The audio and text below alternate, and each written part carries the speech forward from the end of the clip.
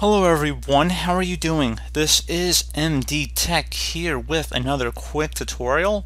In today's tutorial, I'm going to show you guys how to go about resolving that the error message that the operation being requested was not performed because the user has not been authenticated.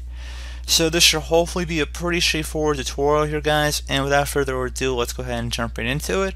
So perhaps you're trying to map a network drive or do a web share that requires specific user credentials. And maybe you've entered these credentials as well. And when you select the option to reconnect add log on and you've restarted your computer and you're coming across this error message in today's tutorial I'm going to show you guys how to hopefully resolve that.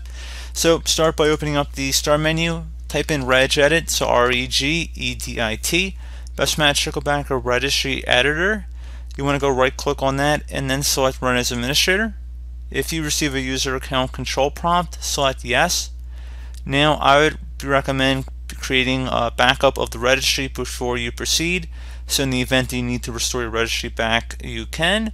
In order to create the backup, it's very simple. Just go ahead and left click on the File tab, select Export. File name, I would suggest naming it the date in which you are making the backup. Export range should be selected to all and then save it to a convenient location on your computer. And then just select Save to save it. And then if you ever need to import it back in, you just would select File and then Import. So again, pretty straightforward process, and then just navigate over to the registry value. So pretty straightforward, select OK. And then once you have done the backup, we're ready to begin and we're going to expand the HKey local machine folder. So go ahead and double click on that. Double click on the system folder. And now should be a current control set folder listing here. You want to go ahead and double click on that. You want to double click on that. And then you want to double click on the services folder. So double click on that one too. And then there should be a web client folder. So we're going to just scroll down here. Just go ahead and double click on that.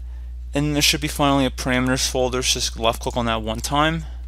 On the right side, you want to right click in a blank area, select new, and then select DWORD 32-bit value. I'm going to have a DWORD in the description of the video, so you want to just paste it into this field here, or you can just type it out too. It should say auth forward server list, so A-U-T-H F O R W A R D S E R V E R L I S T. First letter of each word should be capitalized here as it appears on my screen.